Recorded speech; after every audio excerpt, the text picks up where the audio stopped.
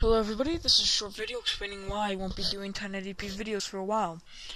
Um, reason number one, it takes up too much time rendering the videos and putting them on YouTube, and I just think it would be better if we didn't.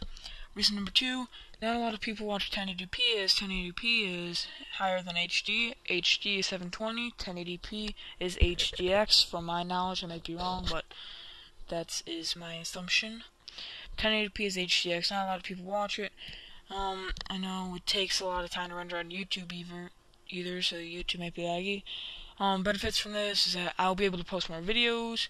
You'll be able to watch more videos because I'll be posting more videos. Um, I won't be as stretch stressed. I'll be happy to record more videos, and I'll just be happier. I have lots of stuff um recorded.